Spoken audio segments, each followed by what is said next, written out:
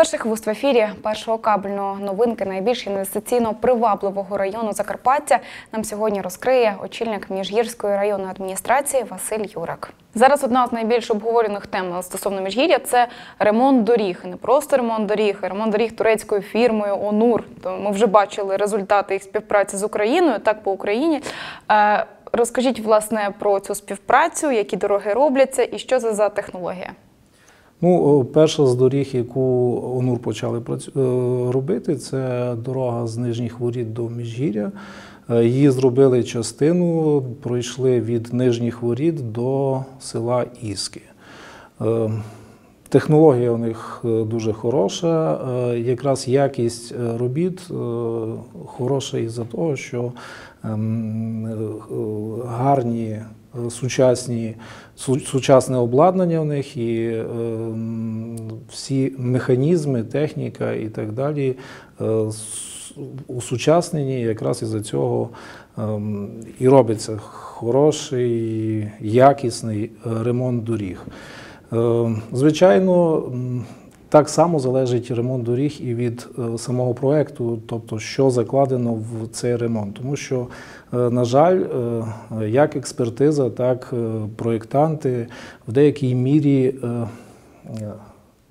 бажають здешевити сам процес е, ремонтних робіт, і від цього, звичайно, інколи е, зовсім не виграє якість, тому що закладаючи більш е, дешеві матеріали, не не дотримуючися всіх 100% технологічних процесів, відповідно, якщо в проєкті не закладені всі ці процеси, підрядник змушений виконувати роботи згідно проєкту, і таким чином об'єкт значно гірше виконуються роботи на цьому об'єкті, так як якісно вони уступають е, іншим об'єктам, які які спроєктовані е, дуже добре. Якраз е, фірма ОНУР слідкує за проектними роботами і дає дуже багато зауважень щодо закладених нормативів в цю проектну документацію, і відповідно якраз вони вимагають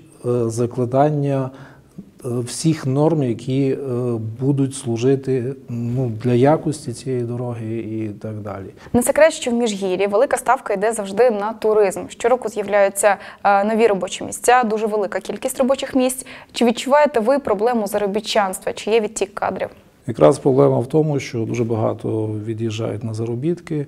Хоча та територія Міжгірщини, яка е, досить добре розвивається в напрямку туризму, ви знаєте, що дуже багато про заробітки забувають і, можна сказати, сімейними підрядами, чи вдома в себе, чи десь в якихось е, е, гостинницях чи базах працюють майже всією сім'єю.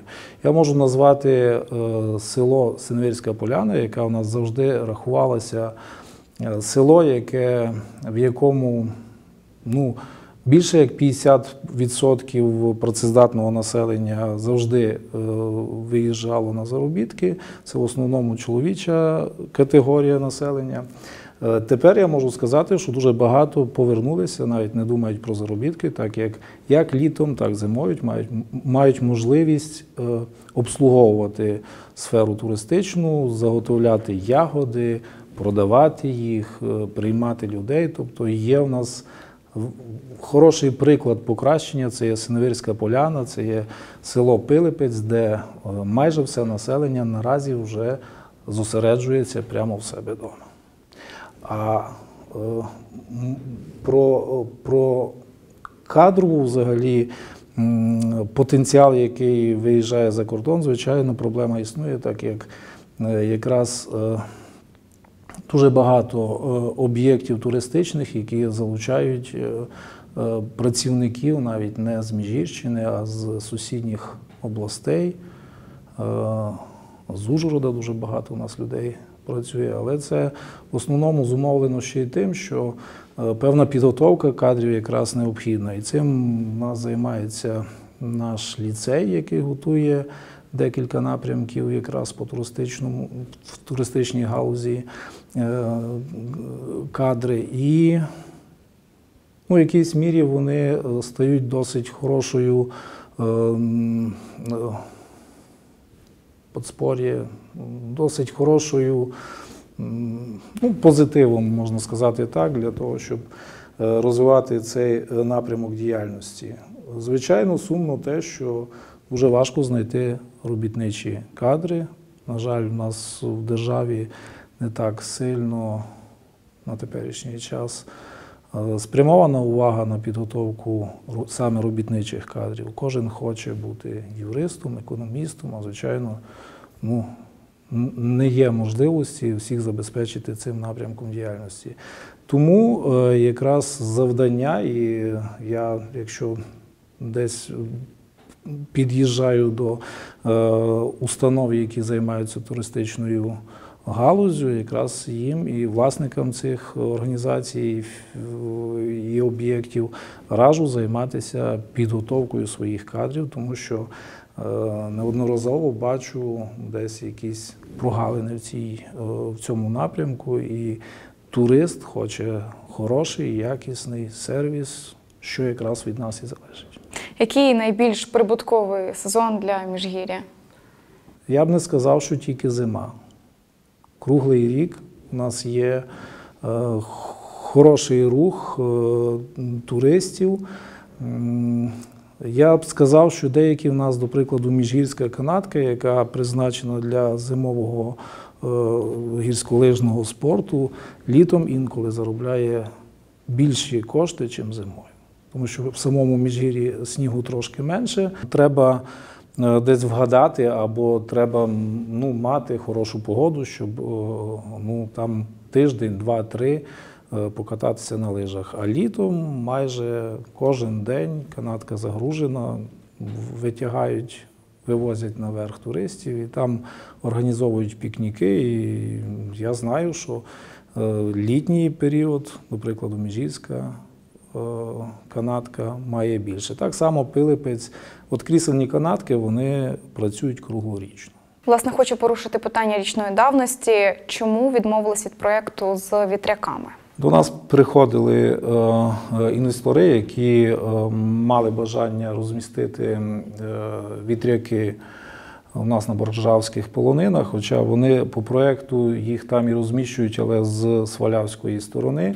Справа в тому, що ані Сваляві, ані Волівцю е, майже не, немає що е, е, тіряти, тому що в цій території туризм в них не розвинутий аж ніяк. Згідно проекту, який запропонували інвестори, майже напроти е, кожного витяга вони запропонували поставити вітряк і мотивували це тим, що поклавши вітряк, вони залучать в цю територію значно більше туристів. Ну, Повірте, що з великих міст е, навряд чи турист хоче йти для того, щоб подивитися на вітряк. Це перше. Е, Друге, е, обговоривши взагалі е, весь е, проект, е, там закладені певні ризики. Це, е, до прикладу, радіус 400 метрів е, охоронної зони. Охоронна зона ця е, е, проектом передбачена е, е, для того, щоб е, лопасті, ну, лопасті ці не завжди крутяться. Тобто вони крутяться тільки в той час, коли є необхідний вітер. Тобто, коли вони на вершині стоять, вони, на них е, робиться намерзання льоду. Коли запускається лопасть, е, е, цей лід е, відлітає і радіус 400 метрів є охоронною зоною. Відповідно, ніхто ці 400 метрів не буде огороджувати, можливо, там поставлять табличку, але туристи, які там ходять, по-перше, не завжди будуть бачити цю табличку, не завжди будуть дотримуватися. Ну і могли б бути якісь певні негативні наслідки по травмуванню туристів. Е, Друге, на що ми зважили, це те, що як Воловець, так Свалява каже, що дуже великі кошти в район. Не йде багато коштів, йде кошти тільки від, е, на оренду земельної ділянки. І, до прикладу, в Волівці там буде працювати десь 20 чоловік по обслуговуванню цих вітряків. Ну, звичайно, від них буде відраховуватися прибутковий податок. Це все, що буде отримувати район від цих вітряків. Ну а тепер, якщо говорити про буржавські полонини, які, можливо, ну, в Карпатах лишилися привабливі такі в такому первозданному, можна сказати, виді, тільки одні. Ну і зараз заселити їх вітряками, то ну, я рахую, що це, це просто непорядно до, е, до у відношенні до наших дітей, які будуть використовувати цей туризм. І я рахую, що е, технологічні парки можна організувати і на низинах, там, де є вітри, і для того відвести певну територію, ті території, які не заселяються. У нас десь поговорюють іще і те, що не виключено, що це в лапках така до- до- доброжелательність наших сусідів з Буковелі, які, які так само переживають, що в нас дуже добре розвинеться туризм і, можливо, їх е, бізнес трохи пострадає. Ну, то так нас говорять, не знаю, чи це правда. Ну, але так чи інакше, не хотілося б е, ті території, які приваблюють якраз е, туристів і все населення і України, і за меж України своєю красотою забудувати вітряками. Тим більше, що нема великих взисків з цього, тобто тільки оренда земельної ділянки і на тому все. Е, Це одне. І е, нас дуже стурбував той факт, що кажу, напротив, з кожного витягу вони запланували вітряк. Це неправильно. І плюс друге, у нас же ж проходять е, м, змагання пара- парапланеристів.